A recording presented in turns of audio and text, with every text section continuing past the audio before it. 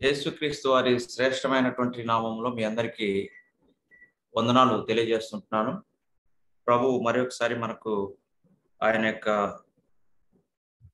దివ్యమైనటువంటి వాక్యాన్ని ధ్యానించడానికి వాటిలో ఉండేటటువంటి సత్యాలు తెలుసుకొని వాటితో మన జీవితాలను సరిచేసుకుంటూ యేసుక్రీస్తు యొక్క వాక్యంలో నడవడానికి మనకు ఆయన ఇస్తున్నటువంటి గొప్ప అవకాశాలను బట్టి యేసుక్రీస్తు ప్రభు వారికి వందనాలు స్తోత్రాలు తెలియజేస్తుంటున్నాను మరి ఈరోజు దేవుని వాక్యంలోకి వెళ్దాము. సామెతల గ్రంథము పద్నాలుగవ అధ్యాయము ముప్పై మూడవ వచనం సామెతల గ్రంథము పద్నాలుగవ అధ్యాయము ముప్పై మూడవ వచనం. తెలివి గలవాని హృదయమందు జ్ఞానము సుఖ నివాసము చేయడం తెలివి గలవాని హృదయమందు జ్ఞానము సుఖ నివాసము చేయను. బుద్ధిహీనుల అంతరంగంలోనున్నది బయలుపడును. మరి ఒకసారి నేను చదువుతున్నాను. తెలివి గలవాని హృదయమందు జ్ఞానము సుఖ నివాసము చేయను. బుద్ధిహీనుల అంతరంగంలోనున్నది బయలు పడును ఇక్కడ దేవుని వాక్యంలో నుంచి జ్ఞానము అనేటటువంటి అంశాన్ని ఈరోజు ధ్యానిద్దాము యేసుక్రీస్తు ప్రభు వారి యొక్క దివ్యమైనటువంటి జ్ఞానాన్ని ఆయన మాటలను మన జీవితంలో ఉంచుకుంటే మనం ఎలా జీవించాలి? ఏ విధంగా మనం నడుచుకోవాలనేటటువంటి వాక్యాన్ని మనం ఈరోజు ధ్యానిద్దాము ఇక్కడ చెప్పబడినటువంటి లేఖన భాగాల్లో తెలివి ఒక వ్యక్తికి సంబంధించి ఒక ఏసుక్రీస్తు నమ్మినటువంటి పర్సన్స్ ఎవరైనా వాళ్ళకు సంబంధించినటువంటి విషయాల గురించి దేవుడు ఒక విషయాన్ని రాశాడు అనమాట తెలివి గల వాని హృదయమందు జ్ఞానము సుఖ నివాసము చేయును. తెలివి గల వాని హృదయమందు జ్ఞానము సుఖ నివాసం చేయును. మనము యేసుక్రీస్తు ప్రభు వారిని తన మన స్వంత రక్షకుడిగా మన పాపమును ఒప్పుకున్న కారణం చేత ఆయన రక్తం రక్తం చేత కడగబడి విమోచించబడ్డాం. విమోచించబడినటువంటి మనము జ్ఞానం కలిగి జీవించాలన్నటువంటిది దేవుని యొక్క ఉద్దేశం. ఎంతమంది అయితే యేసుక్రీస్తు ప్రభు వారి యొక్క రక్తంలో కడగబడి ఆయన ద్వారా విమోచించబడినటువంటి వారందరూ కూడా జ్ఞానం కలిగి జీవించాల? దేవుని జ్ఞానం కలిగి జీవించాలి. కాబట్టి దేవుడు మనల్ని ఎన్నికలైనటువంటి మనలందరినీ కూడా రక్షించుకున్నాడు అంటే దానికి ఒక ఉద్దేశం ఉంది. కాబట్టి ఆయన మనల్ని ఏర్పాటు చేసుకున్నాడు. మరి ఈ జ్ఞానం కలిగినటువంటి యేసుక్రీస్తు మనుషులు ఏ విధంగా ఉండాలి అని అంటే అయితే పద్నాలుగవ అధ్యాయం పదవ వచనంలో కొన్ని మాటలు ఈ దైవజనుడు రాస్తాడు. జ్ఞానము లేనివాడు ప్రతి మాటను నమ్మును. వివేకి అయిన వాడు తన నడతను బాగుగా కనిపెట్టును. జ్ఞానం లేనివారు అంటే కొంతమంది యేసుక్రీస్తు ప్రభు వారిని నమ్మినప్పటికి కూడా దేవుని మాటను హృదయానుసారంగా అంటే దేవుని హృదయానుసారంగా తీసుకొని ఆయన చిత్తానుసారంగా జీవించకపోతే గాన మనము దేవుని యొక్క జ్ఞానంతో నడ నడవడం లేదు అనే విషయాన్ని మనం తెలుసుకోవాలి? ఈ జ్ఞానం లేనివాడు ఎవరైతే ఉన్నారో వాడు ఏం చేస్తాడంట? ప్రతి మాటను నమ్ముతాడు. అబద్ధం చెప్పినా నమ్ముతాడు నిజం చెప్పినా నమ్ముతాడు ఏది చెప్పినా కానీ నమ్ముతాడు. కానీ యేసుక్రీస్తు నమ్మినటువంటి విశ్వాసులు అందరూ కూడా సార్వత్రిక సంఘంలో చేర్చబడినటువంటి విశ్వాసులు అందరూ కూడా జ్ఞానం కలిగినటువంటి వ్యక్తులుగా యేసుక్రీస్తు ప్రభు చేశాడు. మనం జ్ఞానవంతులం కాదు బుద్ధిమంతులం కాదు దేవునికి దూరంగా ఉన్నటువంటి వాళ్ళమే దేవునితో జతగా లేనటువంటి వాళ్ళమే. కానీ ఏసయ్య మనల్ని ఆయన సన్నిధానానికి పిలుచుకోవడం చేత ఆయన మనల్ని ఏర్పాటు చేసుకున్న కారణం చేత మనం ఏమైపోయామంటే దేవుని యొక్క బిడ్డలంగా జతపరచబడ్డాం. యేసుక్రీస్తుతో ఐక్యత పరచబడ్డాం కాబట్టి ఆయన జ్ఞానాన్ని మన జీవితంలో ఉంచాడు మన హృదయాల్లో ఉంచాడు కాబట్టి మనం జ్ఞానం కలిగి జీవించాలి? ప్రతి మాటను నమ్మడానికి వీల్లేదు. కాబట్టి ఏదైనా వాక్య భాగంలో చెప్తూ ఉన్నప్పుడు ఎవరైనా కానీ మళ్ళీ దాన్ని ఇంటికి పోయి ఒకసారి ఏం చేసుకోవాలా? దాన్ని సరిచూసుకోవాలా? ఇది కరెక్టేనా? మాస్టర్ చెప్పినా ఎవాంజలిస్ట్ చెప్పినా సంఘంలో గొప్ప నాయకులు చెప్పినా ఎవరు చెప్పినా కానీ ఇది లేఖనాల అనుసారంగా ఉన్నదా అని ఒకసారి దానిని మనం ఏం చేసుకోవాలంటే నెమరు వేసుకోవాలి. నెమరు వేసుకొని ఎస్ ఈ దైవజనురాలు ఈ దైవజనుడు ఈ బోధకుడు కరెక్ట్గా దేవుని వాక్యాన్ని విశ్లేషించాడు నిర్వచించాడని మనం రూఢిపరిచే రూఢి చేసుకోవాలంటే దాన్ని నిర్ధారణ చేసుకోవాలి.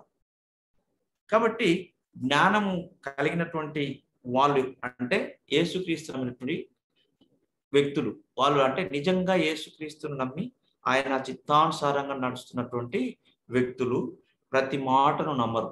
ఖచ్చితంగా ఇది బైబుల్తో సరిచేయబడిందా? బైబుల్ వాక్యంలో ఇది ఉందా? కొంతమంది ప్రతి మాటను నమ్ముతారని చెప్తా ఉన్నారు కదా ఇక్కడ. యేసుక్రీస్తు నమ్మినటువంటి విశ్వాసులు ఇది నిజమా కాదా అని మనము బేరీజ్ వేసుకోవాలి. మనలో మనము దానిని పరిశీలన చేసుకోవాలి. కాబట్టి మనము ప్రతి మాటను నమ్మడానికి వీల్లేదు. యేసుక్రీస్తు నమ్మినటువంటి జ్ఞానం కలిగినటువంటి వ్యక్తులు అంటే దేవుని జ్ఞానం కలిగినటువంటి వ్యక్తులు కొన్ని పనులు చేయరు. ఏ ఏ పనులు చేయరంటే వాళ్ళు వ్యర్థమైన మాటలను మాట్లాడరు. కింది కింది వచనాల్లో ఆ పదార వచనంలో జ్ఞానం గలవాడు భయపడి కీడు నుండి తొలిపోను బుద్ధిహీనుడు విర్రవీగి నిర్భయంగా తిరుగును. త్వరగా కోపవాడు కోపపడువాడు మూఢత్వము చూపును. దుర్యోచనలు గలవాడు ద్వేషింపబడును. జ్ఞానము లేని వారికి మూఢత్వమే స్వాస్థ్యము. వివేకులు జ్ఞానమును కిరీటంగా ధరించుకుందురు. వాళ్ళు ఏదైనా కానీ జాగ్రత్తగా ఆచితూచి మాట్లాడేటటువంటి వ్యక్తులుగా ఉండాలి. వ్యర్థమైన వాటి తోలి పోకూడదు అని అంటాడు.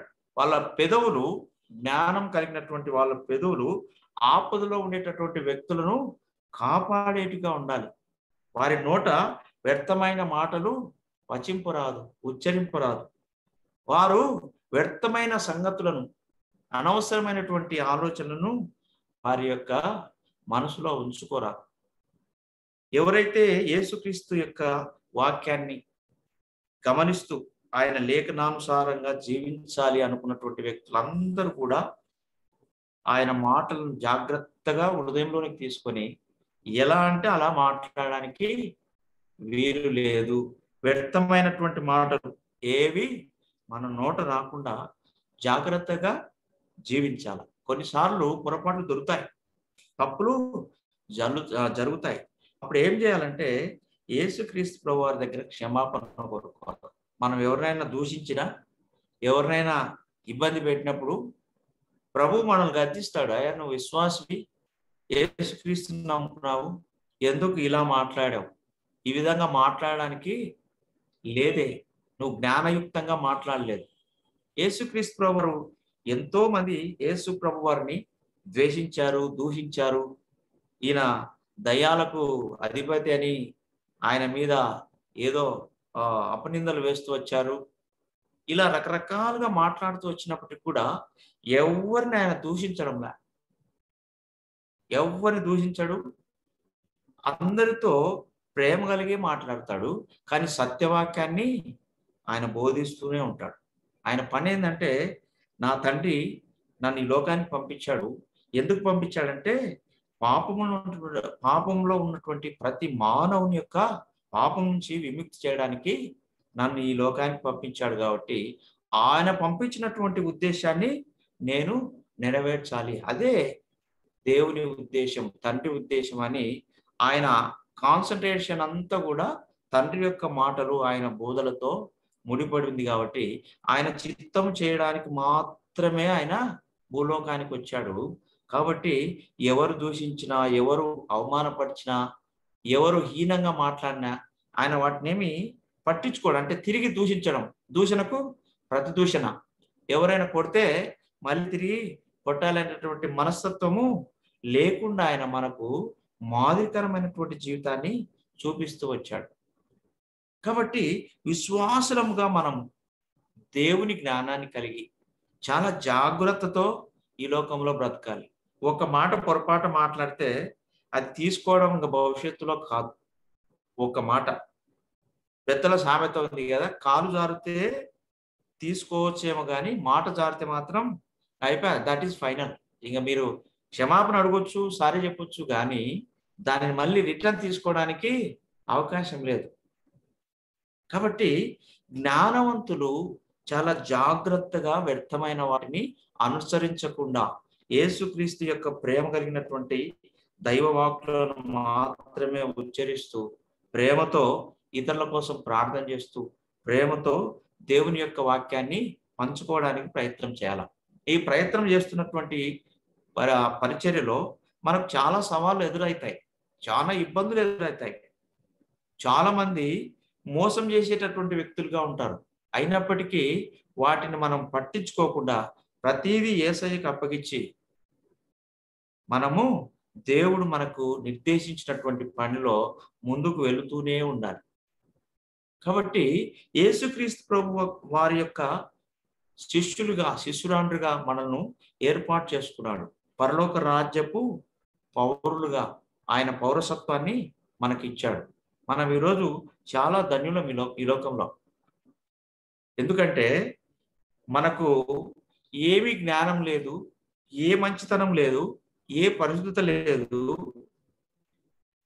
మనలో నీతి అనేటువంటిది అంటే మంచి ఆలోచన అనే కానీ నీతి అనేటటువంటిది కానీ మనలో లేశమాత్రమైనను లేనప్పటికీ మనల్ని యేసుక్రీస్తు ప్రభు వారు అందరిని తృణీకరించి లోకంలో ఉండేటటువంటి గొప్ప గొప్ప మేధావులు సైంటిస్టులు నోబెల్ లారెట్స్ నోబెల్ ఆ, బహుమతులు పొందినటువంటి గొప్ప వాళ్ళు కూడా ఉన్నారు కొంతమంది.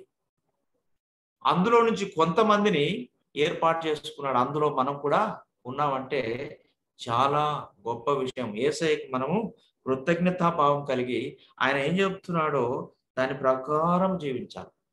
ఎవరు ఏమనుకున్నా కానీ ఆ సంగతులను పక్కన పెట్టి ఏసయ్య మనకి ఇచ్చినటువంటి జ్ఞానం చేత ఈ లోకములో నడుచుకోవాలి. నడుచుకోవడం ద్వారా మనకి ఏం కలుగుతుందంటే ఆశీర్వాదం కలుగుతుంది. దేవుని జ్ఞానం చేత నడుచుకుంటే మన జీవితంలో ఆశీర్వాదము మనం సమాజానికి సంఘానికి దీవెనకరంగా ఇంటికి దీవెనకరంగా ఉంటాం. ఎప్పుడైతే దేవుని వాక్యానుసారంగా జీవించకపోతే మనం ఏమైపోతామంటే భ్రష్టులం అయిపోతాం అంతకంతకు భ్రష్టులం అయిపోతాం ఇక్కడ మొదటి ఆ పద్నాలుగు వచ్చిన మొదటి వచనంలో మాట ఉంది చూడండి జ్ఞానం గురించే. జ్ఞానవంతురాలు తన ఇల్లు కట్టును మూడురాలు తన చేతులతో తన ఇల్లు ఊడబెరుకును. చూసారా దేవుడు జ్ఞానం ఇచ్చింది ఏంటంటే కన్స్ట్రక్షన్ అంటే అందరినీ కలుపుకొని పోవడానికి అందరితో కలిసి ఉండడానికి. ఈమె జ్ఞానవంతురాలైనటువంటి స్త్రీ అంట తన ఇల్లును కడుతుందంట మూర్ఖురాలు జ్ఞానం లేనటువంటి స్త్రీ అంట. ఆమె ఏం చేస్తుందంటే తన చేతులతో తన ఇల్లును ఊడబెరుకుతుందంట మనం ఆశీర్వాదకరంగా దేవుడు మనకు యేసుక్రీస్తు ప్రభువారు గొప్ప దీవెనలను గొప్ప జ్ఞానాన్ని మనకి ఇచ్చాడు కాబట్టి ఆయన మాటలలో ఉన్నటువంటి సత్యాన్ని గ్రహించి మన నోట వ్యర్థమైన మాటలు మనం ఉచ్చరించడానికి వీలు లేదు. మనం వ్యర్థమైనటువంటి సంగతులను అనవసరమైనటువంటి సంగతులను ఆలోచన చేసి మన సమయాన్ని వృధా చేసుకోవద్దు. దేవుడు మనకి ఇస్తున్నటువంటి గడియలు. ఒక క్షణము కూడా మనము వేస్ట్ చేయడానికి వీల్లేదు. మొన్న రీసెంట్గా రెండు రోజుల ముందు ఒక చిన్న పాప బేబీ చిన్న బేబీ ఆ బేబీకి ఒక జబ్బు వచ్చింది. ఆ పాపకు ఇంజెక్షన్ ఇవ్వడానికి ఆ ఇంజెక్షన్ నాకు తెలిసి ప్రపంచంలో ఇదే కాస్ట్ అవుతుందేమో నాకు తెలిసి పదహారు కోట్ల రూపాయలు ఒక ఇంజెక్షన్ ఇవ్వడానికి. సిక్స్టీన్ క్రోర్స్ అవుతుందంటండి భారతదేశంలోనే సాక్షి పేపర్లో రెండు రోజుల ముందు వచ్చింది. నేను పేపర్లో చదివాను. పదహారు కోట్ల రూపాయలు అవుతుంది. దయచేసి ఇదిగో ఫోన్ పే గూగుల్ పే ఎవరైనా సహాయం చేయండి అని వాళ్ళు పెట్టారు. ఎంత ధీరమైనటువంటి ఎంత కష్టమైనటువంటి స్థితిలో ఉంది. దేవుని జ్ఞానం కలిగినటువంటి మనం మన చేతనైంత సహాయం చేయాలి. వారి కోసము దేవుని దగ్గర గోజాడాలి. దేవుని కలిగినటువంటి మనము యేసుక్రీస్తు ప్రభువాన్ని కలిగినటువంటి మనము చాలా జాగ్రత్తగా ఇతరులను ఇతరుల గురించి ఇతరుల కోసం ప్రార్థన చేసే వాళ్ళంగా ఉండేటటువంటి వ్యక్తులుగా మనము ఉండాలి. కాబట్టి వ్యర్థమైన వాటిని మన జీవితాల్లో ఉంచుకోరాదు ఉంచుకోకూడదు. వ్యర్థమైనటువంటి మనసును అంటే వ్యర్థమైనటువంటి వాటిలో మనసును పెట్టుకోకూడదు. వాటిని పెట్టుకోవడం వలన ఏమైతుందంటే మనసు పాడైపోయి దేవుని వాక్యానికి దూరం అయిపోతారు. దేవుని వాక్యం ఉందిగా? ఇది జుంటి దేని దారుల కంటే మధురమైనటువంటిది. కష్టం వచ్చిందా? వాక్యాన్ని చదువుకోవడమే. ఈ లోకంలో ఎవ్వరు మంచోళ్ళు కాదు. ఎవ్వరు మంచోళ్ళు కాదు. ప్రతి వాడు పాపే. వాక్యం చెప్తున్న నేను పాపిని వింటున్నటువంటి మీరు పాపులే. కానీ ఇవి ఈ గుంపు రక్షించబడినటువంటి పాపులు మనం. పూర్తి పరిశుద్ధతలోకి మనం ఏమి లేము. మనలో తప్పులు జరుగుతూ ఉన్నాయి పొరపాట్లు జరుగుతూ ఉన్నాయి సరి చేసుకొని దేవుని ఆత్మ చేత నడిపించబడుతూ ఉన్నాం. మనం చాలా అదృష్టవంతరం ఈ కాలంలో. ఎందుకంటే పరిశుద్ధాత్మ దేవుడు ఎప్పుడు మనతో ఉంటే ఇదిగో పొరపాటు చేస్తున్నారు ఇది జ్ఞానం కాదు. ఇది దేవుని జ్ఞానం కాదు ఇది మంచిది కాదు ఇది తప్పు అని క్లియర్గా చెప్పడానికి మన పక్కన ఆయన ఉన్నాడు కాబట్టి ఆయనను మనము ఆయన మాటకు ఆయన యొక్క ఆలోచనకు తావియాల ఆయన జ్ఞానానికి కోరుకోవాలి. మనం ప్రార్థన చేసేటప్పుడు దేవుని చిత్తాన్ని కోరుకోవాలని మనము ప్రార్థన చేస్తాం. ప్రార్థన చేసేటప్పుడు మనం ఆయన చిత్తానుసారంగా ఏం అడగాలని ప్రార్థన చేసుకోవాలి. ప్రభా నాకు తెలియదు నేను ఏం అడగాలో అవసరాలన్నీ చెప్తాం మనం. అన్నీ చెప్తాం. కానీ ఎక్కువ మనం అడిగేది ఏంటంటే అనవసరమైనటువంటివి ఎక్కువ అడుగుతాం. అవసరమైనటివి చాలా తక్కువ అడుగుతాం.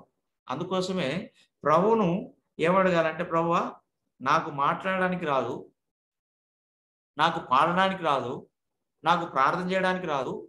ఎలా ప్రార్థన చేయాలో నీ చిత్తానుసారంగా నాకు నేర్పించు. ఎలా నేను చూడాలో నీ చిత్తానుసారంగా నాకు నేర్పించు. ఎలా వాక్యాన్ని విశ్లేషించాలో నీ చిత్తానుసారంగా నాకు చెప్పు. నేను మైదా చాలా మంది గొప్ప దైవజనులు మేధావులు ఏం కాదు. డిఎల్ ముడి గారు ఆయన ఏం మేధావే కాదు.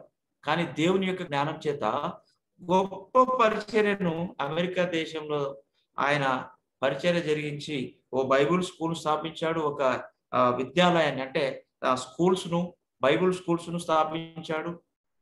ఆయన మామూలు సాదా సీదా కుటుంబంలో ఉన్నటువంటి వ్యక్తి కానీ దేవుని జ్ఞానం చేత దేవుని ఆత్మ చేత నడిపింపబడి గొప్ప కార్యం చేశారు. కాబట్టి దేవుని జ్ఞానం ఉన్నటువంటి వాళ్ళకు చాలా ధైర్యం ఉంటుంది. దేవునితో వాళ్ళు రోజు మాట్లాడుతూ ఉంటారు కాబట్టి దేవుడు ఏం చేస్తాడు? కనబడినటువంటి దారిని వారికి చూపిస్తూ వెళ్తాడు. అదే మనకు ఆ ఎబ్రిలోకి రాసినటువంటి పత్రిక పదకొండవ అధ్యాయంలో మొదటి వచనంలో ఒక మాట ఉంటుంది విశ్వాసం గురించి. ఒకసారి చదువు దీప్తి ఎబ్రిలకు రాసినటువంటి పత్రిక పదకొండవ అధ్యాయము ఒకటో వచనం.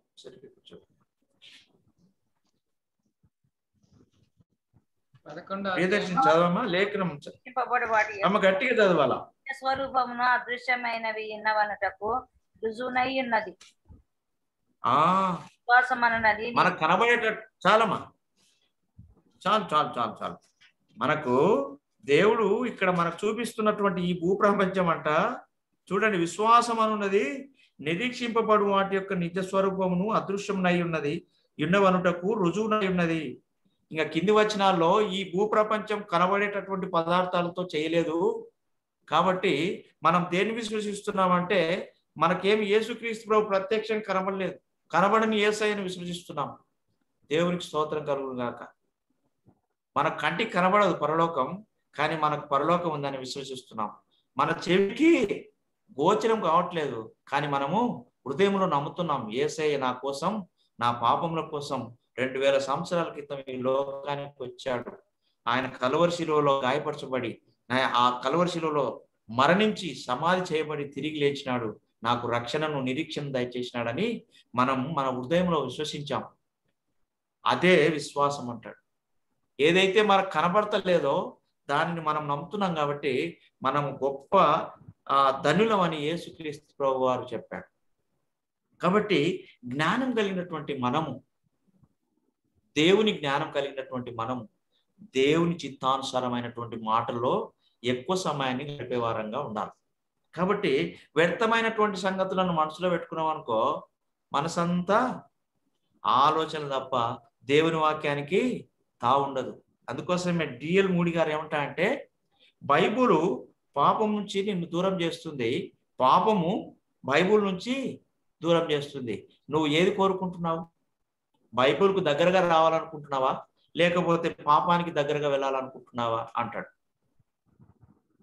బైబుల్ దగ్గరికి వచ్చావనుకో ఏసయ్య నీతో మాట్లాడతాడు. బైబిల్ వాక్యాన్ని తెరిచావనుకో నీ హృదయాన్ని నిమ్మలపరచడానికి నీ బాధలను నీ కష్టాలను నీ ఇబ్బందులను పరామర్శించడానికి ఏసయ్య వాక్యంతో మాట్లాడతాడు. ఈ లోకంలో తల్లిదండ్రులు అన్నదమ్ములు భర్తలు భార్యలు ఫ్రెండ్స్ ఎవ్వరూ నెమ్మది పరచలేకపోవచ్చేమో కానీ ఈ లేఖన భాగము మనిషి యొక్క హృదయాన్ని నెమ్మదిపరుస్తుంది నిమ్మలపరుస్తుంది ఆదరిస్తుంది ఓదారుస్తుంది.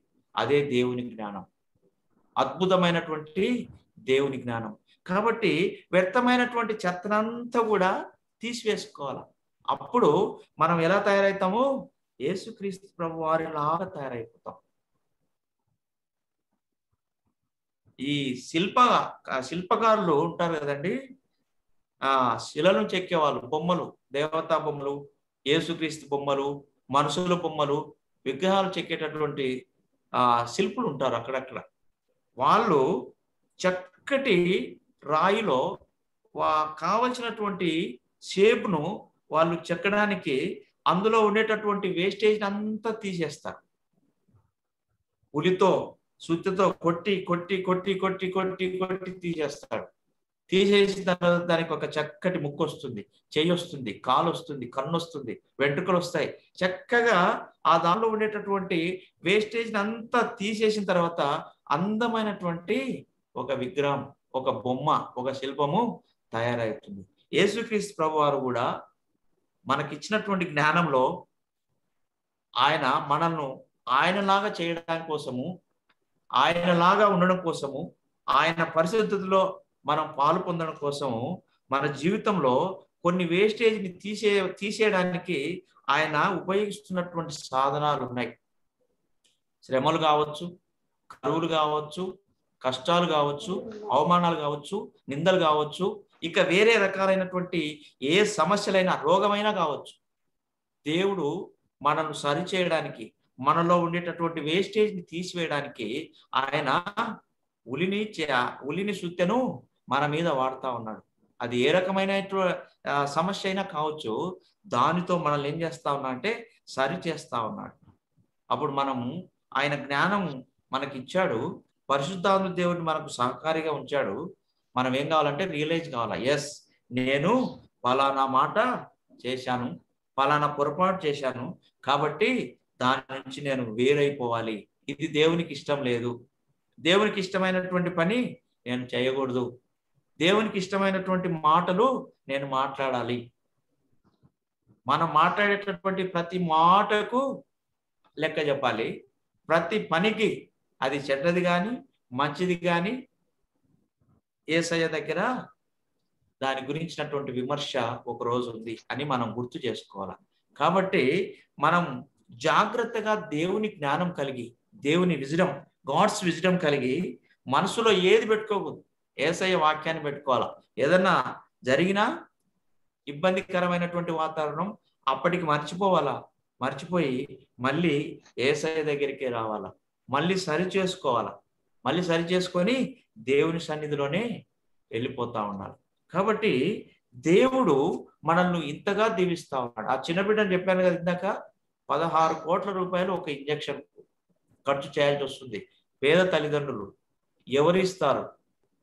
ఎవరు ఆదుకుంటారు అలాంటి బిడ్డలను? కానీ నీ నా జీవితంలో దేవుడు మహాకృపలను అనుగ్రహించాడు. ఆ పిల్ల కంటే ఆ పాప కంటే మనమేం గొప్ప వాళ్ళం కాదు. పసిబిడ్డనే కానీ ఎంత కష్టం వచ్చి పడిందో చూడండి. ఏసయ్య నీకు నాకు చెప్తున్నటువంటి విషయం. ఇదిగో నేను మీకు జ్ఞానం ఇచ్చాను. ఆ జ్ఞానం ఏంటి? ఇతరులకు సహాయం చేయాలా? ఇతరులకు ఆ ఇతరులను ఆదరించాలా? ఇతర కష్టాలను పరామర్శించాలా? అదే దేవుని జ్ఞానం. అదే పాత నిబ కొత్త నిబంధనలో దేవుడిస్తున్నటువంటి ఆ యొక్క కమాండ్ ఆజ్ఞ. నీ పొరుగు నిన్ను వలే నీ పొరుగు వారిని ప్రేమించాల? ఒకవేళ నువ్వు ఏమి చేయలేకపోతే నువ్వు చేయగలిగినటువంటి పని ఏంటంటే వారి కోసం ఏసే సన్నిధిలో ఉపవాసం ఉండి ప్రార్థనలు చేయాలి. కన్నీళ్ళు విడిచి ప్రార్థన చేయాలి. అప్పుడు ఏసయ్య నీ కన్నీటి ప్రార్థనను చూసి ఆ బిడ్డను స్వస్థపరిచేటటువంటి దేవుడుగా ఉన్నాడు. ఇది వాస్తవం. కాబట్టి మనం ఎప్పుడైతే దేవుని జ్ఞానం కలిగి ఉంటామో వ్యర్థమైనటువంటి చెత్తనంతా వదిలేసేటటువంటి వ్యక్తులుగా ఉండాల? కొన్నిసార్లు విశ్వాసులు ఏం చేస్తా ఉన్నారంటే ఏవేవో ఆలోచనలు తెచ్చుకొని ఆ ఆలోచనలు పదే పదే గుర్తు చేసుకోవడం వల్ల ఏమైపోతుందంటే మనసంతా బాధతో బరువుతో నిండిపోయి చివరికి దేవునికి దూరం అయిపోయేటటువంటి పరిస్థితులు కూడా ఉన్నాయి. మీరు చూడండి ఇస్కరియోత్ యూధ ఆయన యేసుక్రీస్తు ప్రభు వారికి కీడు చేశాడు. ఆయనను పట్టించాడు. కానీ ఆయనకు చాలా అవకాశాలు ఉన్నాయి. ఆయన మారు మనసు పొందొచ్చు ఏసఐ దగ్గర క్షమాపణ అడగొచ్చు ఆయనకు అన్ని తెలుసు. చాలా ఇంటెలిజెంట్ చాలా ఫైనాన్షియల్ నాలెడ్జ్ కలిగినటువంటి వ్యక్తి. అందరికంటే ఎక్కువ నాలెడ్జి ఆయనకు ఉన్నది కానీ ఆయన ఏం చేశాడంటే దేవుడిని మనసులో పెట్టుకోక బాధను మనసులో పెట్టుకున్నాడు. పోయి ఉరి చేసుకున్నాడు. అవకాశం ఉంది మారుమనసు పొందడానికి దేవుడు ఆయనను కూడా ప్రేమిస్తా ఉన్నాడు. మన పైన కూడా ఎంతో మంది శత్రువులు లేచి కీడు చేయాలని ప్రయత్నం చేస్తూ ఉండొచ్చు. కానీ ఏసయ్య ఇస్కరియోతకు ఇస్కరియోత యూదకు ఏమి కీడు చేయలేదు. ఆయనను అప్పగిస్తున్నా కొట్టినా తిట్టినా ఆయన అసలు ఏమీ బాధపడకుండా ఆయన ప్రేమిస్తూనే ఉన్నాడు. మనకు ఆయన జ్ఞానం ఇవ్వడం చేత మనకు కూడా ఏసయ్య లాగా ఇతరులను ప్రేమిస్తూనే ఉండాలి. కొంతమంది మోసం చేస్తారు. మోసం చేసినా ప్రేమించాల్సింది. ఎందుకంటే ఇది మనకు దేవుడిచ్చినటువంటి నిబంధన. దాన్ని మీరలేం దేవుని ఆజ్ఞను మీరి బయటికి పోయామా? శ్రమలు తప్పు మన జీవితంలో. సముద్రం చూడండి. సముద్రానికి పెద్ద పెద్ద నదులకు గొప్ప గొప్ప ఆనకట్టలు కట్టారు. కానీ సముద్రానికి దేవుడు ఇచ్చినటువంటి ఆజ్ఞ దానికి ఇచ్చినటువంటి నిబంధన ఏంటో తెలుసా? ఓన్లీ ఇసుకతో అడ్డు వేసినాడు వ్యవసాయ ఆకాశములు మహాకాశములు సృష్టించినటువంటి దేవుడు సముద్రాన్ని బయటికి రాకుండా ఇసుక పెట్టాడు. ఇసుక దాటి బయటికి రాదు. అంతే. ఒకవేళ వచ్చిన కానీ మళ్ళీ ఇసుకలోనికి వెళ్ళిపోవాలి. అంతే. దేవుని మహాజ్ఞానం. దేవుని మాట అది కాబట్టి అవే మనకు లోబ అవే దేవునికి లోబడతా ఉన్నాయి. ఆకాశం హిమము మంచు వడగన్లు అన్ని లోబడతా ఉన్నాయి. కానీ యేసుక్రీస్తు నమ్మినటువంటి విశ్వాసులు లోబడుతూ ఉన్నారు కానీ అన్ని విషయాల్లో కాదు. కొన్ని విషయాలు ప్రభావ ఇంకా కొంచెం టైం ఉంది. ఇంకా కొంచెం వెయిట్ చేసి లోబడతాం. పూర్తిగా సరెండర్ కావట్లేదు పూర్తిగా దేవుని మీద ఆనుకోవడం లేదు అసలు. ఎప్పుడైతే దేవుని మీద దేవుని జ్ఞానం మీద ఆనుకుంటావో అప్పుడు నీ సమస్యకు దేవుడు సొల్యూషన్ ఇచ్చేటటువంటి దేవుడుగా ఉన్నాడు. దేవుని జ్ఞానము నీ సమస్యలో సమృద్ధిగా ఆయన ఇచ్చి నిన్ను రక్షించేటటువంటి వ్యక్తిగా ఉన్నాడు. కాబట్టి దేవుని జ్ఞానాన్ని కలిగినటువంటి వ్యక్తులుగా మనము ఉండి ఆయనకి ఇష్టమైనటువంటి మార్గములో జీవిస్తూ ఉండాలి. ఇంకో విషయం ఏంటంటే వ్యర్థమైనటువంటి వాటిని జ్ఞానం కలిగిన వాటిని ప్రేమించరు. ఏవేవో చెత్త విషయాలు ఏవేవో విషయాలు వాళ్ళు తగినట్టుగా ప్రేమిస్తూ ఉంటారు. కానీ బిడ్డలు దేవుని జ్ఞానం కలిగినటువంటి బిడ్డలు వ్యర్థమైన వాటిని ప్రేమించరు. దేవుడు ఏది ఇవ్వడో దాన్ని మాత్రమే ప్రేమించాలి. దేనిని ఆయన ఇష్టపడుతున్నాడో దాన్ని మాత్రమే మనం ఇష్టపడేటటువంటి వ్యక్తులుగా ఉండాలి. కాబట్టి దేవుడు మనకిస్తున్నటువంటి జ్ఞానము బహు విచిత్రమైనటువంటిది బహు వింతైనటువంటిది. ఆయనలో మనం రావడమే ఒక గొప్ప విషయం అన్నమాట. కాబట్టి దేవుని జ్ఞానం కలిగినటువంటి వ్యక్తులుగా మనం జీవించాలి. సామెతల గ్రంథము తొమ్మిది పదవ వచనం చదువు దీప్తి. సామెతల గ్రంథము తొమ్మిదవ అధ్యాయం పదవ వచనం. ఈ జ్ఞానము అంటే ఏంటి అనేది చెప్తాడు అక్కడ కూడా ఈ దైవజనుడు. ఏమని రాస్తాడంటే లేఖన భాగంలో తొమ్మిదవ అధ్యాయం పదవ వచనం. యెహోవాయందు చెప్పండి చదవండి. తొమ్మిది పది. యెహోవా యందు భయభక్తులు కలిగి ఉండేట ఏ జ్ఞానమునకు మూలము. పరిశుద్ధ దేవుని గూర్చి తెలివియే వివేచనకు ఆధారము. ఆ జ్ఞానం అంటే ఎవరు? దేవుని ఎందు భయభక్తులు కలిగి ఉండడమే యేసుక్రీస్తునందు విశ్వాసం ఉంచడమే జ్ఞానం అంతే దర్శనం చాలా మంది అనుకుంటారు యేసుక్రీస్తు నమ్మిన చూసి ఏమనుకుంటారంటే వినాయకులు తెలియలేను ఎస్ లోకంలో తెలివిలేనులను బుద్ధిహీనులను ఎందుకు కొరగాని వారిని దేవుడు ఏర్పాటు చేసుకోవడని చేసుకున్నాడని ఆయన లేఖన భాగాల్లో ఆయన్నే రచించాడు. నేను ఏర్పాటు చేసుకోయింది జ్ఞానవంతులను సిగ్గుపరచడానికి గొప్పవారిని అవమానపరచడానికి ఎందుకు పనికిరాని పామరులను ఏర్పాటు చేసుకున్నానని దేవుడు లేఖన భాగాల్లో రాశాడని కొరంతియన్స్ ఫస్ట్ కొరంతియన్స్లో ఒకసారి చూద్దాం. మొదటి అధ్యాయము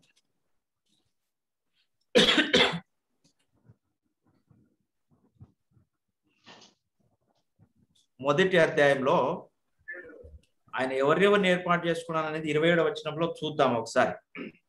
First Corinthians chapter one twenty seventh వర్స్లో ఒక మాట అంటాడు దేవుడు. ఏ శరీరు దేవుని యొక్క ఆక్షేపకున్నట్లు జ్ఞానులను సిద్ధపు సిగ్గుపరచుటకు లోకంలో నుండి వెళ్ళి వారిని దేవుడు ఏర్పరచుకొని ఉన్నాడు. బలవంతులైన వారిని సిగ్గుపరచుటకు లోకంలో బలహీనులైన వారిని దేవుడు ఏర్పరచుకొని ఉన్నాడు. ఎన్నికైన వారిని వ్యక్తం చేయటకు లోకంలో నీచులైన వారిని తృణీకరింపబడిన వారిని ఎన్నికలైన వారిని దేవుడు ఏర్పరచుకొని ఉన్నాడు. ఆ ఎవరెవరు బలహీనులు వెర్రివారు ఆ లోకంలో బ ఎందుకు పనికిరాని వారు? వ్యక్తులు నీచులు చెడ్డవాళ్ళు దొంగలు కూనికోర్లు వీడు పనికి రాడరా వీడు వేస్టురా అనుకునేటటువంటి నీచులను ఏసై అనుకొని లోకంలో ఉండేటటువంటి జ్ఞానులనంతా సిగ్గుపరుస్తా ఉన్నాడంట. ఈ లోకానుసారమైనటువంటి జ్ఞానము దేవుణ్ణి ఎరగలేదు కాబట్టి ఇలా ఏర్పాటు నేనే చేసుకున్నాను అంటాడు ఇదే అధ్యాయంలో దేవుడు. చూడండి ఇరవై ఒకటో వచనంలో ఒకటవ మొదటి కొరంతీలకు రాసిన పత్రిక అపోస్తుడు ఒకటవ అధ్యాయం ఇరవై ఒకటో వచనంలో దేవుని జ్ఞానానుసారంగా లోకము తన జ్ఞానం చేత దేవుణ్ణి ఎరగకుండినందున సువార్త ప్రకటనయను వెర్రితనం చేత నమ్మువారిని రక్షించుటకు దేవుని దయాపూర్వక సంకల్పమాయను. లోకము దేవుణ్ణి ఎరగడం లేదు. లోకంలో చాలా జ్ఞానం ఉన్నది.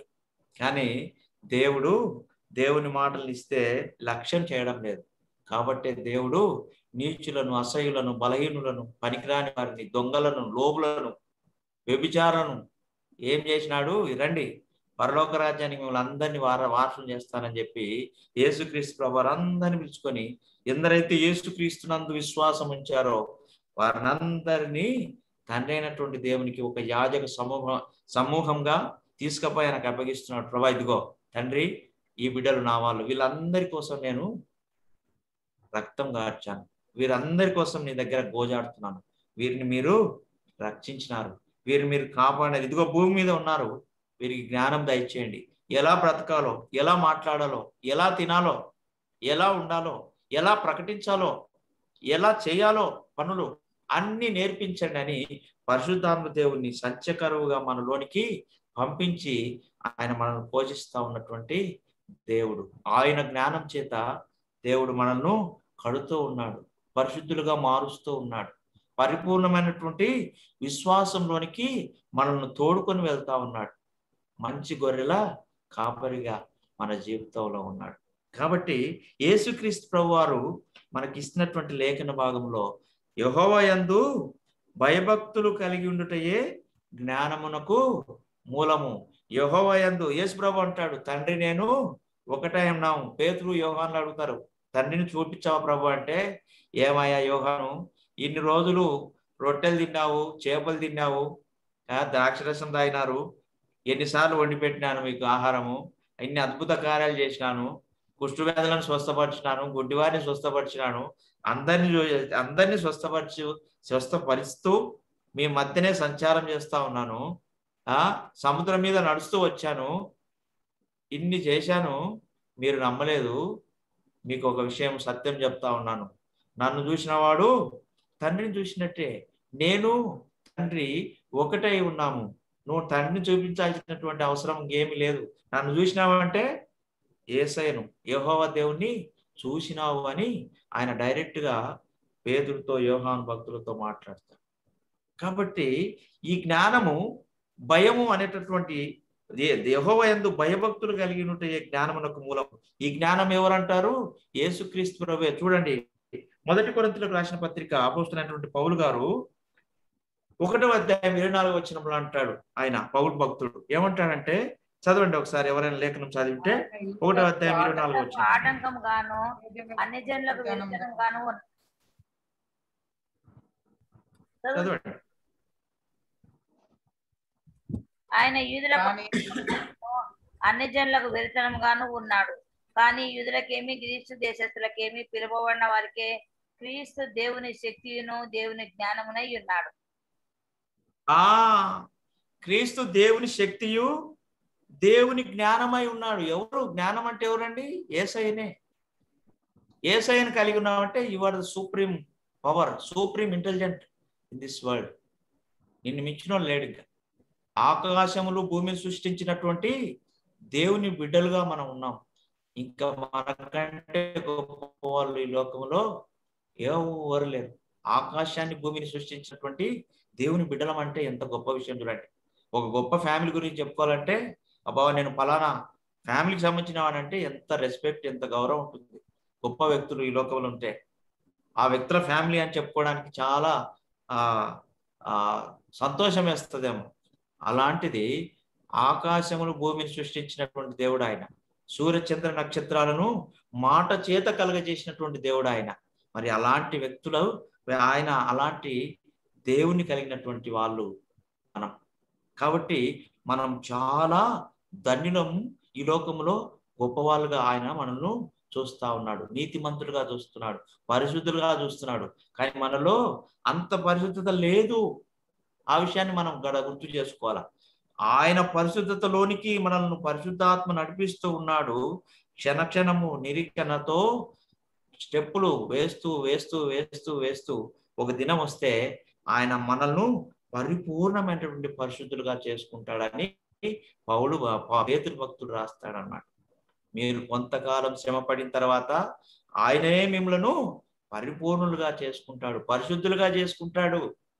కానీ ఏసయ్య మనల్ని ఇప్పటికీ ఎప్పటికీ ఎలా చూస్తున్నాడు? పరిశుద్ధులే అని చూస్తా ఉన్నాడు. మనకు తెలుసు మనం ఎంత పరిశుద్ధులమో. మనకు తెలుసు మనం ఎంత మంచి వాళ్ళమో మనకు తెలుసు మనం ఎంత మంచిగా మాట్లాడతామో మనకు తెలుసు మనం ఎంత మంచిగా చూస్తామో మనకు తెలుసు మన హృదయ యొక్క ఆలోచనలు ఎంత ఘోరంగా ఉన్నాయో. అయినప్పటికీ యేసు ప్రభువును ఆయన పరిశుద్ధతలో చూస్తా ఉన్నాడు. ఆయన చూపుతో మనల్ని అందరినీ కూడా ఇదిగో వీళ్ళందరూ కూడా పరిశుద్ధపరచబడినటువంటి దేవుని సంఘము దేవుని పరిశుద్ధులు దేవుని యాజక సమూహం అని మనకు శ్రేష్టమైన పేర్లు రాజులైన యాజక సమూహం అని పేర్లు పెడతా ఉన్నాడు. ఆ ఇంకొక వచనాన్ని చూద్దాం. మొదటి కొరింతీలకు రాసిన పత్రిక అపోస్తులైన పౌలు ఒకటో అధ్యాయం ముప్పై ముప్పై ఒకటో వచ్చిన కలిసి అంటే రెండు ఉంటాయి చదవండి ఒకసారి. అయితే ఆయన అపోస్తులైన పౌలు కొరింతీలకు రాసిన పత్రిక మొదటి పత్రిక. ఒకటో అధ్యాయం ముప్పై ముప్పై ఒకటి. గట్టిగా చదవాలి. అమ్మా. వాడు ప్రభువునందే అతిశయింపవలను అని వ్రాయబడినది నెరవేర్చినట్లు దేవుని మూలంగా ఆయన మనకు జ్ఞానము నీతి నీతియు పరిశుద్ధత విమోచనం ఆయన ఆ ఇక్కడ లేఖనం ఏం చెప్తా ఉందంటే అతిశయించువాడు ప్రభునందే అతిశయింపబడ అతి అతిశయింపవలెను. ముప్పై వచనంలో అయితే ఆయన మూలంగా మీరు క్రీస్తు యేసునందు ఉన్నారు. క్రీస్తు యేసునందు ఉన్నారు ఆయన గురించినటువంటి విషయం ఇక్కడ ముప్పై ఒకటో వచనంలో చెప్తా ఉంది. దేవుని మూలముగా ఆయన మనకు జ్ఞానమును నీతియు పరిశుద్ధతయు విమోచనమును ఆయను. కాబట్టి దేవుని ఎందు భయభక్తులు ఎవరైతే కలిగి ఉంటారో వాళ్ళ హృదయాలలో ఏమి నివాసం ఉంటుందని చెప్తున్నాడు సామెతల గ్రంథకర్త. జ్ఞానము సుఖ నివాసము చేయును. తెలివి గలవాని హృదయమందు జ్ఞానము సుఖ నివాసము చేయును. బుద్ధిహీనుల అంతరంగంలోనున్నది బయలుపడును మనం తెలివి కలిగినటువంటి వాళ్ళంగా ఏసయ్య మనల్ని పిలుచుకున్నాడు. ఆయన జ్ఞానాన్ని మనలో ఉంచాడు. చూశారా మన హృదయాలలో? కాబట్టి మనం సుఖ నివాసము చేయించున్నాము. సంతోషంగా ఉన్నాం. చాలా మంది అంటారు సంతోషంగా అంటే ఇన్ని కష్టాలు ఉన్నాయి ఇన్ని ఇబ్బందులు ఉన్నాయి మాకు ఏసయ ఉంటే సంతోషం అంటే సంతోషం. కష్టాలు కొన్ని రోజులే కానీ మన పట్టణము నిలవరమైనటువంటి పట్టణము. ఇక్కడ లేదు స్థిరమైన నివాసము. కొన్ని రోజుల తర్వాత పరలోక రాజ్యానికి మనమందరము పోవాల్సిందే. అక్కడ మన రక్షకుడైనటువంటి నజరేయుడైనటువంటి యేసుక్రీస్తు ప్రభు మన కోసం బహుమాలను పట్టుకొని ఉన్నాడు. ఒకసారి ఓ పట్టణం పరదేశి అనేటటువంటి ఒక పట్టణంలో ఒక దైవజనుడు సువార్తను ప్రకటిస్తూ ఉంటాడు. అక్కడ చాలా మంది యేసుక్రీస్తు ప్రభు వారిని నమ్ముతారు. నమ్మిన తర్వాత ఆ ప్రాంతంలో ఆయన ఒకసారి ఏమంటాడంటే ఆ నమ్మినటువంటి విశ్వాసులతో అయ్యా మీరు ఏం చేస్తారంటే ఒక పని ఉంది. ఆ పని మీకు చెప్తాను. మీరందరూ కూడా సిద్ధపడండి రేపటికి. రేపు చెప్తా సిద్ధపడితే మీరు నేను చెప్పిన పనికి మీరు వెళ్ళాల్సి వస్తుంది. కాబట్టి మీరు ఆ పనిలో వెళ్ళాలి. కాబట్టి ఈరోజు త్వరగా పడుకొని పొద్దున్న ఎర్లీ మార్నింగ్ మీరందరూ మందిరానికి వస్తే నేను మీకు పనులను అప్పగిస్తాను. ఆ పనులను మీరు నెరవేర్చాలని చెప్తాడు ఆ దైవజనుడు. చెప్పినప్పుడు సర్లేండి సార్ అని వాళ్ళు పోయి రెస్ట్ తీసుకొని పొద్దునేకి వచ్చిన తర్వాత ఆ దైవజనుడు ఏం చేసిందంటే మూడు సిలువలు తయారు చేసింటాడు. అవి ఆరు అడుగులు ఉంటాయి. నిలువు కర్ర అడ్డకర్ర ఆరు అడుగులు ఉంటాయి. ముగ్గురు శిష్యులు పిలుస్తాడు ఆ ముగ్గురు శిష్యులు మార్నింగ్ ఆరు గంటల వచ్చేస్తారు. వచ్చిన తర్వాత అయ్యా మీరు ఫలానా జాట ఓ రమ్యమైనటువంటి పట్టణం ఉంది. మీరు వెళ్ళగానే ఆ పట్టణంలో మనుషులు ఉంటారు. ఆ పట్టణంలో ఉండేటటువంటి మనుషులకు ఈ యొక్క సిరువలను తీసుకొని వెళ్ళాలి. కాబట్టి మీరు బయలుదేరండి అని చెప్పి ఆ శిష్యులకు ఆయన ఆజ్ఞాపించి వారిని పంపిస్తాడు. పంపిస్తే వాళ్ళు ఎత్తుకొని వస్తూ ఉంటారు. ఎత్తుకొని వస్తూ వస్తూ వస్తూ ఉంటే అది యాక్చువల్గా దూరం పెరిగే కొద్దీ ఏమవుతుందంటే బరువు పెరుగుతూ ఉంది. ఆరు అడుగుల శిలువ కదా ఆ క్రాసు ఆ బరువు దూరం నడిచే కొద్ది నడువి నడిచే కొద్ది వీళ్ళలో ఎనర్జీ లెవెల్స్ తగ్గిపోయి బరువు అవుతా ఉంది.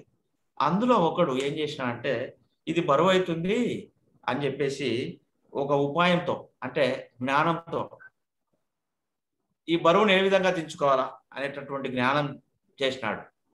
ఉపాయం పన్నాడు.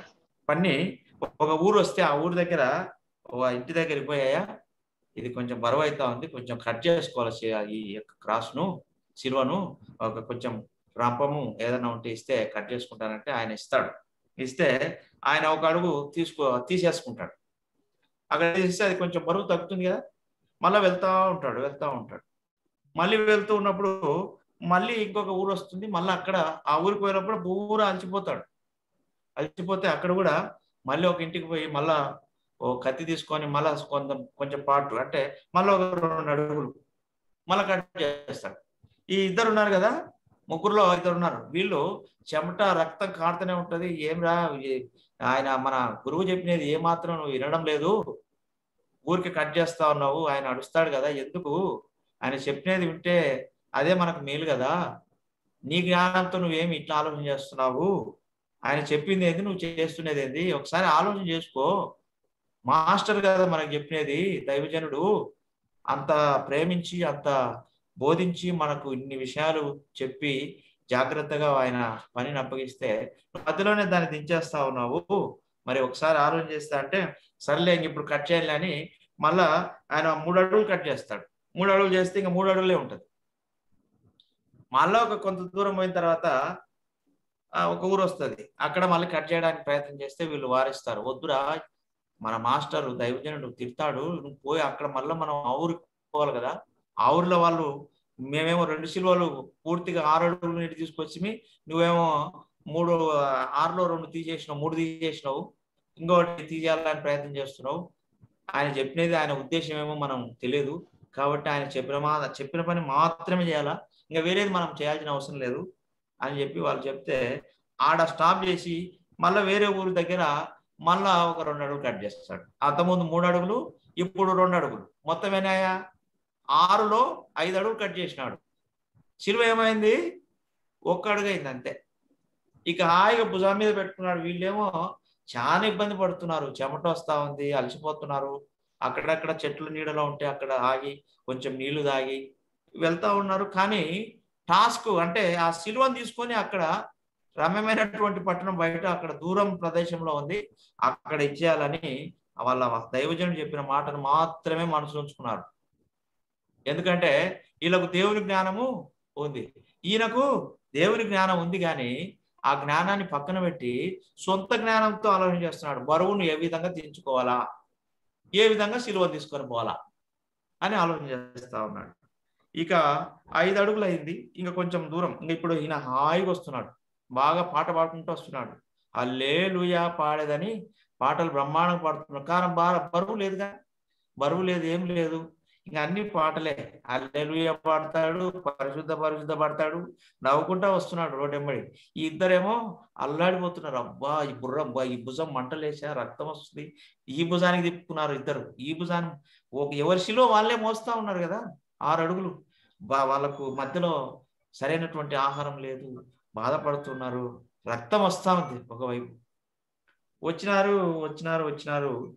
దగ్గర పట్టణానికి దగ్గర సమీపంలో ఓ పెద్ద కాలు వచ్చింది. కాలు వస్తే వీళ్ళ దగ్గర ఇద్దరి దగ్గర ఇద్దరు శిష్యులు ఉన్నారు. ముగ్గురు శిష్యుల్లో ఇద్దరు శిష్యులు ఉన్నారు కదా. ఇద్దరు శిష్యులు ఏం చేశారంటే ఆ కాలు వచ్చింది కదా. ఏ విధంగా దాటాలా అని ఆలోచన చేస్తూ ఉన్నారు. వాళ్ళకు దేవుడు ఇచ్చినటువంటి జ్ఞానం. ఈ శిలువ ఆ కాలం మీద వేసి ఆ కాలం అవతలికి పోవాల? అనే జ్ఞానం దేవుడు వాళ్ళకంటే దయచేస్తాడు. అప్పుడు వాళ్ళు ఆ శిలువను తీసుకొని ఆ కాలం మీద వేస్తే ఒక వ్యక్తి వేసి ఆయన తీసుకొని ఆ శిలువను బయటికి బయటికి ఆ కాలువ దాటిన తర్వాత ఆయన శిలువను బయటికి మళ్ళీ నాకుకొని మళ్ళీ భుజాన్ని వేసుకుంటాడు. ఇంకొక శిష్యుడు ఉన్నాడు కదా ఆ శిష్యుడు ఆయన శిలువను వేసేసి ఆయన అవతలి ఒడ్డుకు వెళ్ళిపోతాడు. ఆయన శిలువను తీసుకుంటాడు బయటికి. మూడో వ్యక్తి ఉన్నాడు. మూడో వ్యక్తి శిలువ ఎంత ఉంది? ఒక్కడికే ఉంది. ఆరు అడుగుల శిలువ ఒకటే చేశాడు. ఇక ఈ వ్యక్తి యువతలనే ఉన్నాడు. అక్కడగా ఆ పట్టణానికి దగ్గరలో వీళ్ళు సిలువ ఈ కాలువను ఎప్పుడైతే దాటారో అక్కడ మహా గొప్ప సమూహం వాళ్ళతో వేచి ఉంది. వాళ్ళంతా ఏం చేస్తా ఉన్నారు? గొప్ప ఆనందంతో సంతోషంతో ఆ యొక్క పట్టణంలో ఉన్నటువంటి అధికారి వాళ్ళను మేళతాళాలతో పిలుచుకోవడానికి అక్కడ వెయిట్ చేస్తా ఉన్నారు. ఈయననేమో ఎవరు కట్ చేసుకున్నాడు చూసినారా శిల్వను ఆయన మాత్రం ఈ కాలువ యువతల్లోనే ఉండిపోయాడు. ఈ ఇద్దరు ఎవరైతే ఈ శిలువను తీసుకొని వెళ్ళారో వాళ్ళు ఆ రమ్యమైనటువంటి పట్టణానికి వెళ్ళిపోతారు. అక్కడ వాళ్ళకు ఏమి దొరుకుతుందంటే ఈ శిలువను తీసుకుపోయిన తర్వాత ఒక ఆయనకేమో జీవ కిరీటము ఒక ఆయనకేమో నీతి కిరీటము అలా కిరీటాలు వాళ్ళ దగ్గర ఉన్నాయి. దగ్గర దగ్గర ఐదు కిరీటాలు ఉన్నాయి. కిరీటాలు ఆ పట్టణంలో ఉండేటటువంటి అధికారి దగ్గర ఐదు రకాలైనటువంటి కిరీటాలు ఉన్నాయి.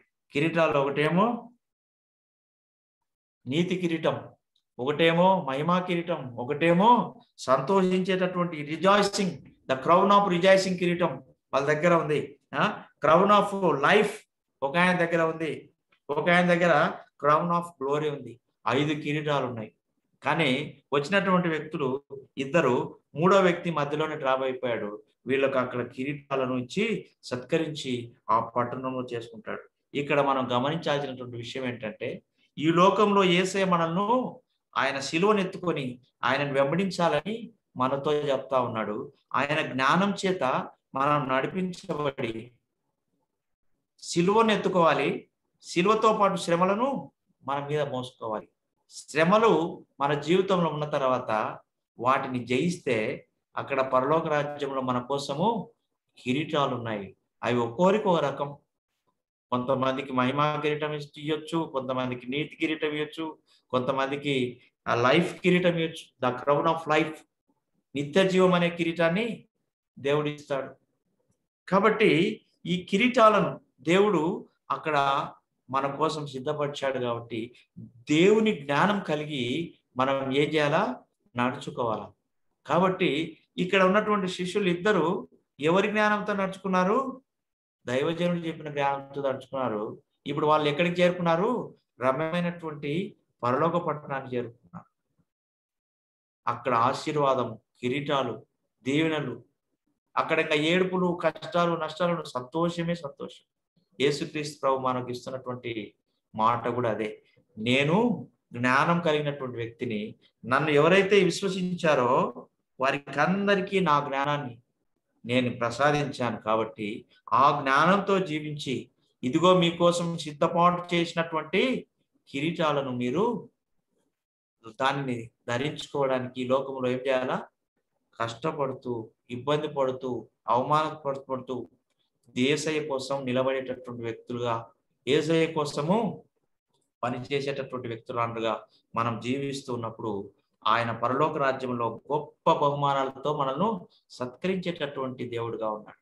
ఇంతకంటే గొప్ప అవకాశం గొప్ప భాగ్యం మానవ లోకానికి విశ్వాస లోకానికి ఇంకేం కావాలా. యేసుక్రీస్తు ప్రభు వారి దగ్గర బలా నమ్మకమైనటువంటి దాసుడు అనిపించుకుంటే చాలు కిరీటాలు కూడా అవసరం లేదు నాకైతే. బలా నమ్మకమైన దాసులు అని అనిపించుకుంటే చాలు. కిరీటం అంటే గొప్ప గొప్ప పనులు చేసే వాళ్ళ కిరీటాలు అసలు పరలోక రాజ్యంలో ఆయన ఎలా చేయి వేసి భలే చేశారండి పని అని చెప్తే ఎంత సంతోషంగా ఉంటుంది. దేవుని జ్ఞానం మనల్ని రక్షిస్తా ఉంది విడిపిస్తా ఉంది. కాబట్టి యేసుక్రీస్ ప్రభు వారి జ్ఞానం అనే విషయాన్ని మనం జ్ఞాపకం చేసుకోవాలా ప్రిలారా కాబట్టి మనము యేసుక్రీస్తునంది అతిశించాలా ఏసుక్రీస్తు మాటల ఎందు లక్ష్యం ఉంచాలా? మనకు ఆయన దేవుని జ్ఞానం అయి ఉన్నాడు నీతి అయి ఉన్నాడు పరిశుద్ధత అయి ఉన్నాడు విమోచన అయి ఉన్నాడు. కాబట్టి మనకి ఇంకా ఏం భయం లేదు. ఈ లోకంలో ఏం జరిగినా ఏది సంభవించినా ఏసుక్రీస్తుతో కూడా ఉంటామనే నిరీక్షణ మన జీవితాల్లో ఉంచాడు కాబట్టి ఆయన జ్ఞానాన్ని కలిగి లోకంలో జీవిద్దాం. ఆయన యొక్క శిలువను ఎత్తుకొని శిలువ అంటే శ్రమలు శ్రమలను తీసుకొని వాటిలో మనం నడుస్తూ వాటి ద్వారా వెళ్తూ ఉన్నప్పుడు ఎన్ని కష్టాలు వచ్చినా ఎన్ని ఇబ్బందులు వచ్చినా యేసుక్రీస్తు ప్రభు వారిలో నడుస్తూ వెళ్తూ ఉంటే వాటిని జయిస్తూ యేసుక్రీస్తు కొరకు నిలబడితే ఆయన ఏ కిరీటాన్ని మన కోసం సిద్ధపరిచాడో పరలోకంలో ఆ కిరీటాన్ని తప్పకుండా ఆయన ఇస్తాడు. కాబట్టి దైవజనుడు లేఖన భాగంలో రాసినట్టుగా జ్ఞానం ఎవరి దగ్గర ఉంది?